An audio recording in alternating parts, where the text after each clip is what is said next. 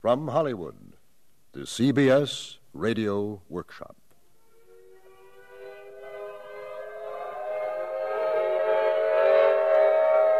Air Raid by Archibald MacLeish.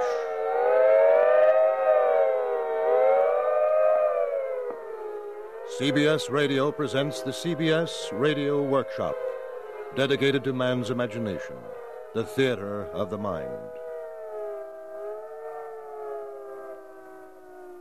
Nineteen years ago, the workshop was honored to produce Air Raid, a new verse play written especially for it by the distinguished American poet Archibald MacLeish. In this work, Mr. MacLeish foresaw the nature of World War II and prophesied that it would be waged against defenseless civilians. Today, when the concern of every man of good will is for the safety and defense of his fellows, Mr. MacLeish's play seems even more stirringly true than it did nearly two decades ago. The workshop is once more proud to present William N. Robson's production of Air Raid, a verse play for radio by Archibald MacLeish. When you hear the gong sound, the time will be 10 seconds past 2 a.m. precisely. WCBS, New York. Ladies and gentlemen, you have only one thought tonight, all of you. You who fish the fathoms of the night with poles on rooftops and long loops of wire. Those of you who, driving from some visit, finger the button on the dashboard dial until the metal trembles like a medium in a trance and tells you what is happening in France or China or in Spain or some such country. You have one thought tonight and only one. Will there be war? Has war come? Is Europe burning from the Tiber to the Somme? You think you hear the sudden double thudding of the drum. You don't, though. Not now. But what your ears will hear within the hour, no one living in this world would try to tell you. We take you there to wait it for yourselves. Stand by, we'll try to take you through.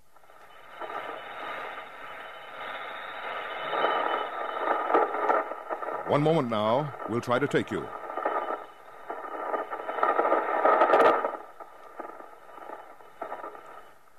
The ultimatum, you remember, was for sunrise by their clock, midnight by ours. Now ours is long past midnight. The sun is up on the whole curve of that continent. The weather is fair with wind southwest going southerly. A few clouds at 10,000, cumulus. Mist among the passes of the upper Julian Alps. Some fog on the East Baltic, but lifting. Otherwise, sun. The Tyrrhenian Sea, all sunshine. The Adriatic creased with curling light. The Atlantic tumbles forward into morning on those beaches.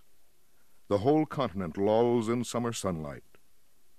Spain is drifting eastward with the shapes of clouds. France is smooth with morning as a turf. Germany is checkered with the squares of green and grain.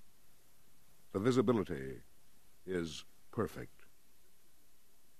You think you hear the lonely, droning danger of the plains. You don't, though. Not yet. One moment now, we'll take you through. We take you to a town behind the border, one of those old time hill towns where the papers come tomorrow morning and the wars come years ago or in some other country. Our men are on a roof above the houses of the town. Strange and curious times these times we live in.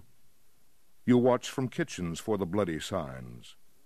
You watch for breaking war above the washing on the lines.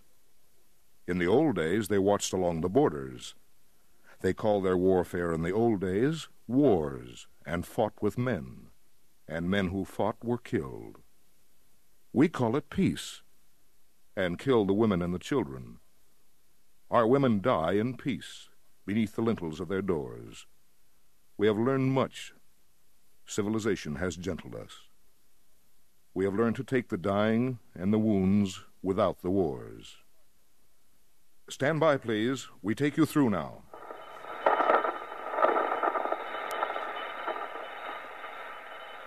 We take you now across the traveler's sea, across the trawler's coast, the parson's orchard, across the merchant's villa with the vine above the porch, across the laborer's city with the flames above the forges, across the drover's plain, the planter's valley. The poplar trees in alleys are the roads, the linden trees in couples are the doors, the willows are the wandering water flowing.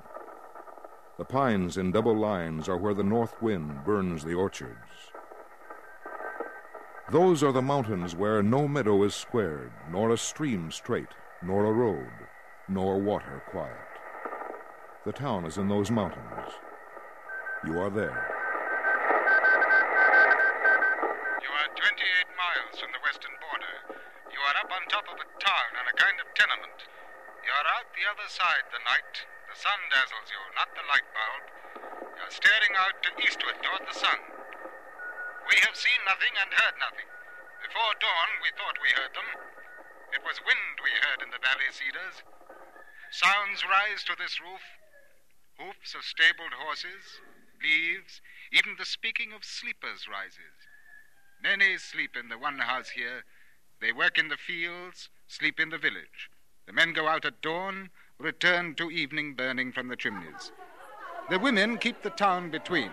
They keep it now. The tenement's full of them, a four story building of women. They're filling the court with their quick talk. They call back and forth from the windows. They laugh behind the kitchen doors. They rinse the shirts in the first real shine of the morning. They talk, their arms to elbows in the tubs. Look at it. Look at the cuff of his shirt. What's he been into? Black grease? What would you think he'd be into? A man like yours with an eye like his for wandering. And you to talk. You with that red-headed lollipop. Oh, hardly a day at dark, but his head's on the window. He's wearing his elbows out on the stone sill, looking us over from one floor to the next. Well. If it's only the eye with him that wanders, I wonder. it's war again. Have you heard them talking? How can we help but hear them blabbing about, cocking their feet on the kitchen table and talking? It's always war when they talk, and it's always talk. It's always talk when they get to the beer and tobacco. The beer comes out of the bottles. So does the talk, too. Yes, and the wars. Wasting their time on wars with the dishes to do and the children to chase. The wars.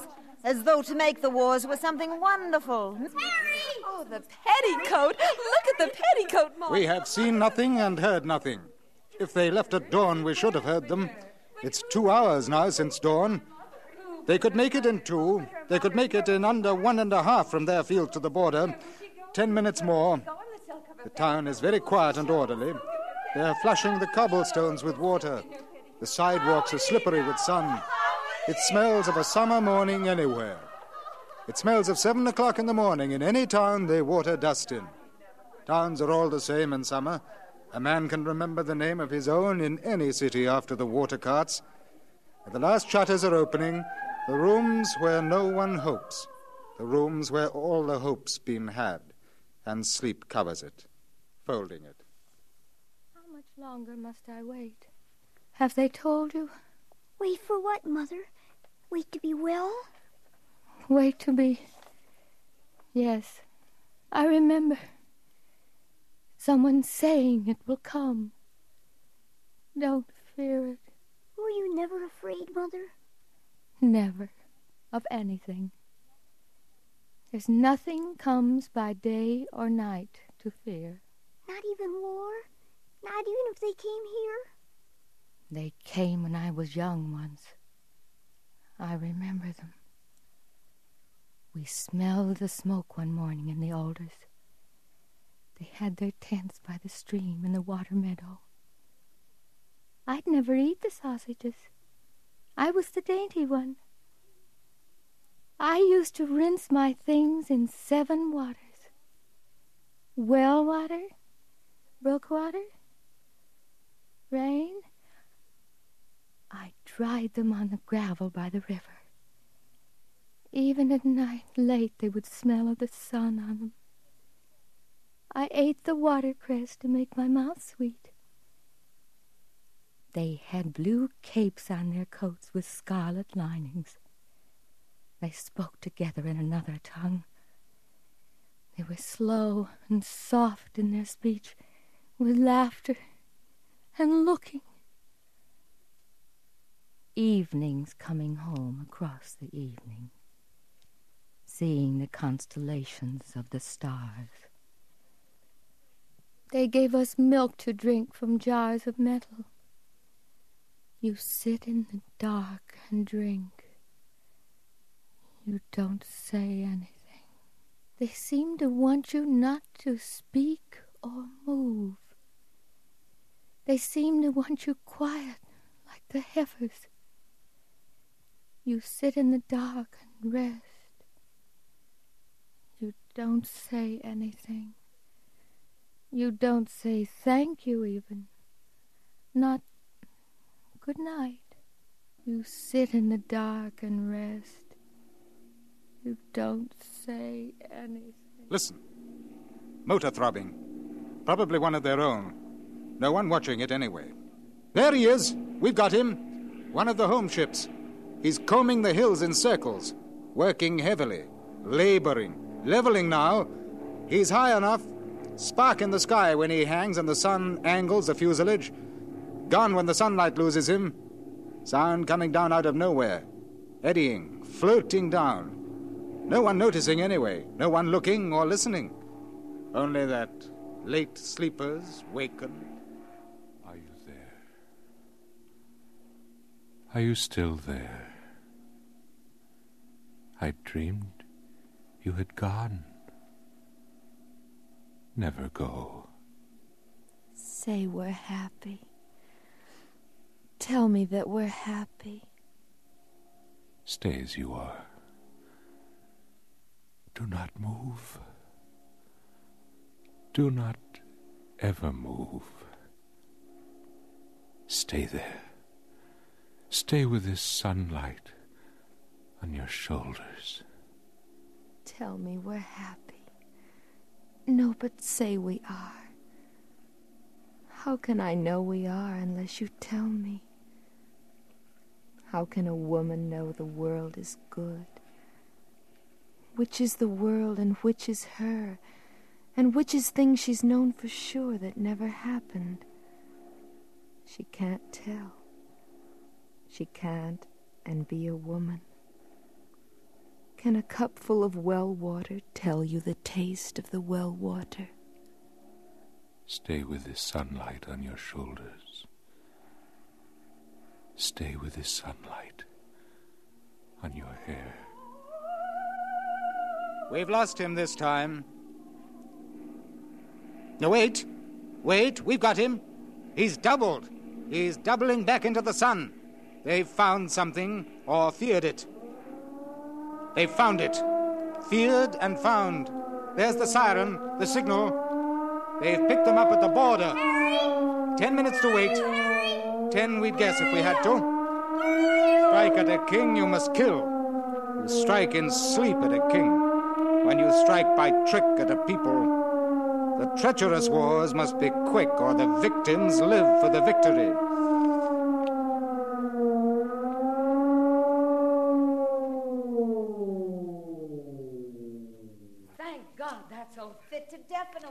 Town quiet, waiting. Women's skirts in the court. Women's arms in the windows.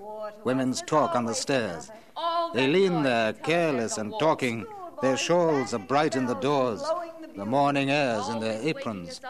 They shape their hair with their hands. They stand there softly and simply. The women lean from the stairs. Can't they run the country decent and quiet till eight in the morning, even? The rest of the day they can rule as loud as they like and as long as they mind to. They can do what they want with the country from eight on. Only till eight if they'd wait for the difficult sleepers.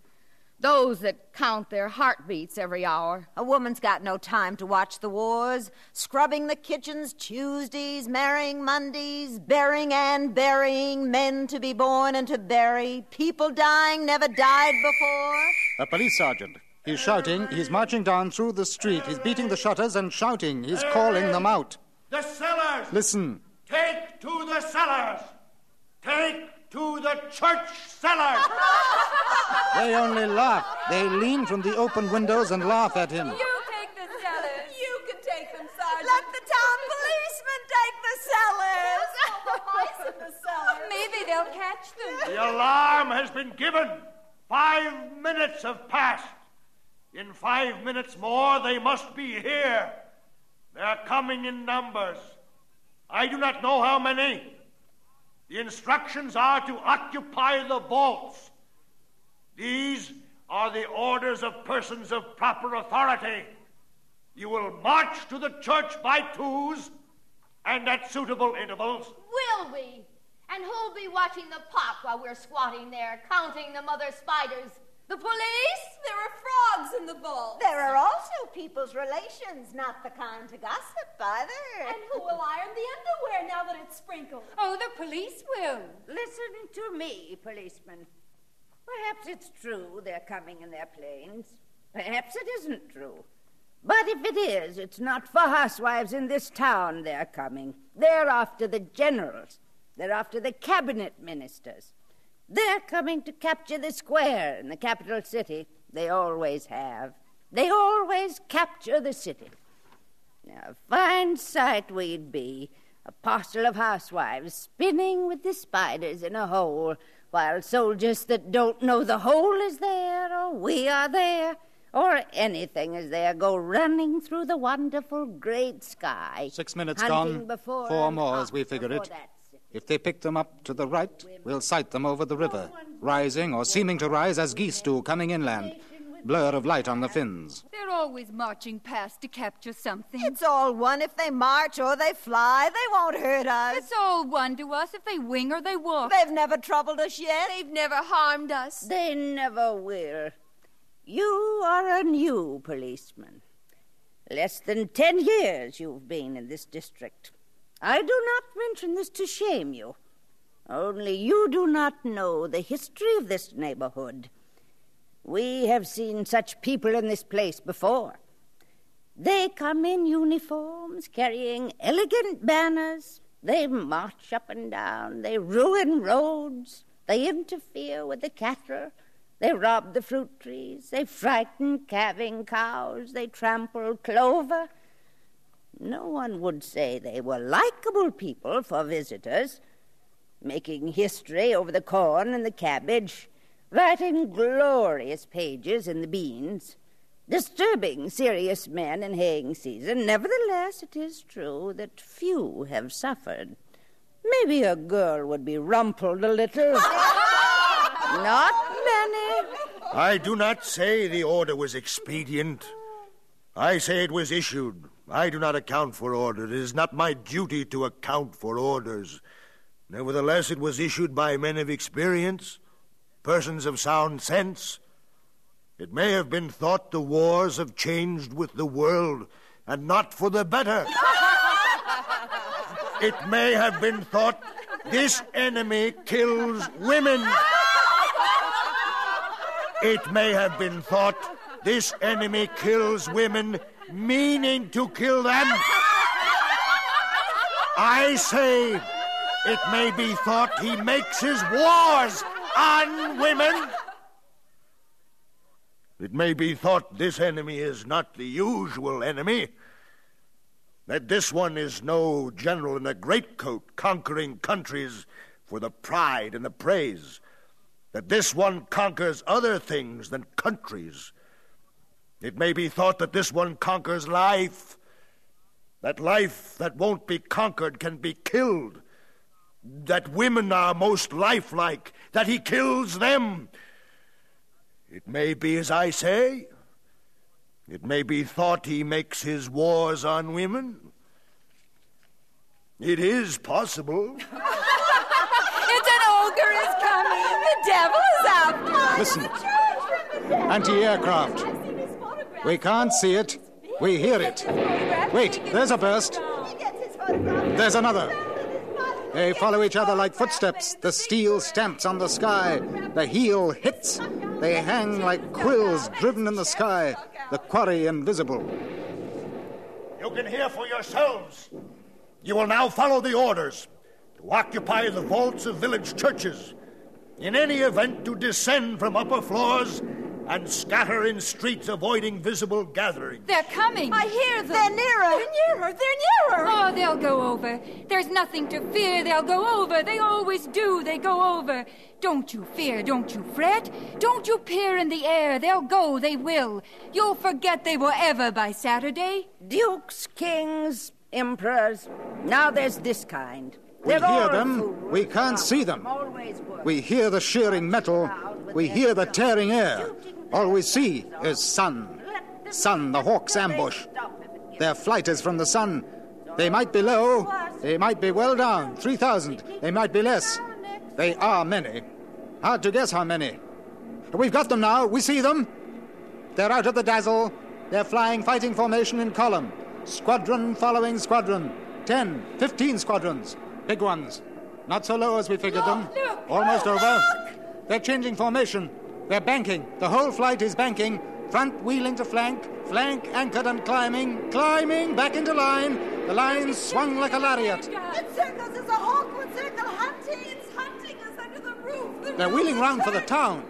They're rounding in by the river. They're giving it throttle. They're climbing. The timing is perfect. They're flying with perfect precision of timing, perfect mechanical certainty. Show it our show. All of us into the street. All of us. They turn like stones on a string. They swing like steel in a groove. They move like tools, not men. You'd say there were no men. You'd say they had no will but the will of motor on metal. Show it our skirts in the street. It won't hurt us. Show it our softness. Show it our weakness. Show it our womanhood. They swing.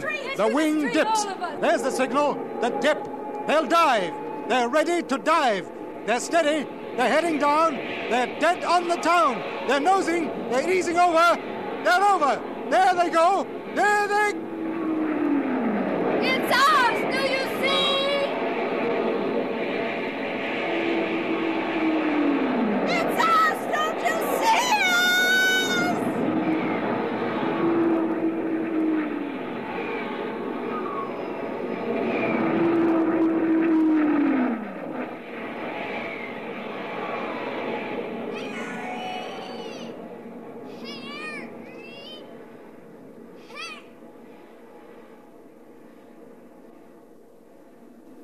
Stay as you are.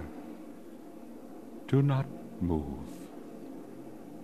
Do not ever move.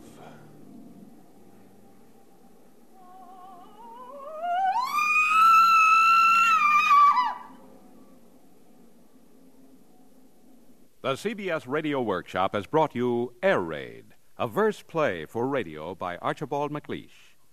Frank Goss was heard as the studio announcer and Ben Wright as the remote announcer. Others in the cast included Lurene Tuttle, Virginia Gregg, Shirley Mitchell, Ellen Morgan, Norma Jean Nilsson, Ann Whitfield, Betty Noyes, John Dehner, Richard Beals, and Shepard Menken. Mr. MacLeish's prophecy of 19 years ago is grim reality today. Headlines tell of guided missiles whistling in from enemy submarines hundreds of miles at sea.